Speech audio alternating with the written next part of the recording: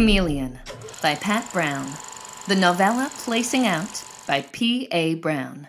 Fade in. Exterior, Los Angeles, night. Super, February 23rd, 1933. We float over the city of angels as Model Ts, Model As, and assorted 20s and 30s vehicles prowl the city streets below. Electric red car trolleys trundle down their tracks, clanging and rattling. Threadbare men, women, and children seek warmth around barrel fires among rows of makeshift tents of a Hooverville. Drifting out of the core, a battered jalopy clanks down a road. Match cut. Interior, bootleg warehouse, night. Sharp crack of a shotgun. Muzzle flares light the interior. Barrels of whiskey fill the dilapidated building. A single, grimy, sulfur light bulb provides illumination. Uniformed Cody Temple, 50s, iron jawed, ill tempered, veteran cop armed with a rifle kicks the door to the warehouse open. It slams against the wall and ricochets. The roar of a second shotgun blast greets his entry. Shots peppers the surrounding walls, door, and floor. His partner, Ben Carter, 20s, also in uniform, rugged, looks like he knows his way around a bar fight or two, clears the door and drags a cursing Cody behind a row of barrels. More shots. Barrels are pierced. Jets of golden whiskey flow. Overhead, a barrel shatters completely, sending a whiskey waterfall cascading over everything below. We should have brought Roach and his boys with us.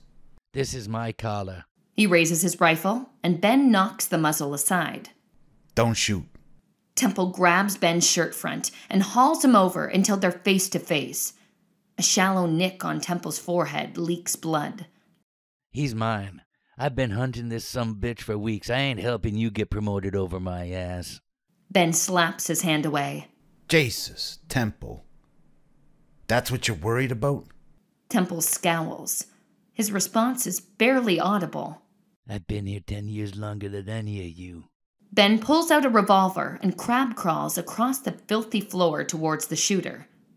He looks back at Temple. Stay here. Interior, warehouse, night. A shot whistles from Ben's right. He crab crawls towards the sound, firing twice. There's a cry of pain from the shadows. More shotgun blasts. Sparks fly. Flames erupt among the dripping barrels, race across the floor to climb the tinder dry walls. Told you to stay put. A blast of shot shreds the wooden strut over Ben's head. He empties his revolver at the shooter. Temple does the same. Silence. They reload.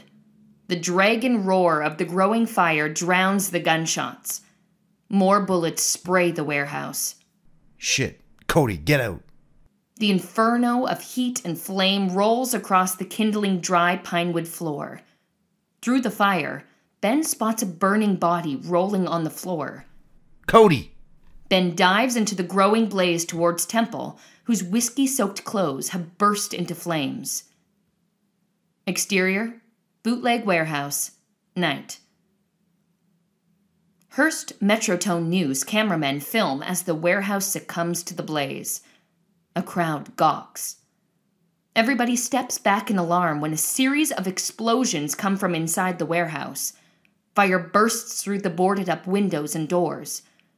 There are gasps when a figure erupts from the inferno, carrying a smoldering body over his shoulder.